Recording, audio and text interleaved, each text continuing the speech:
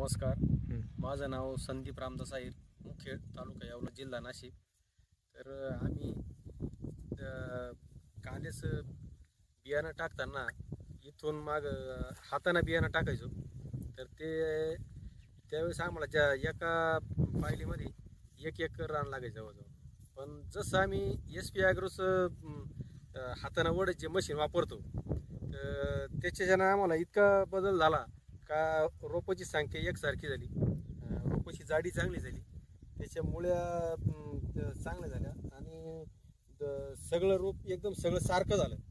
का जेणेकरून मर होत नाही काही नाही.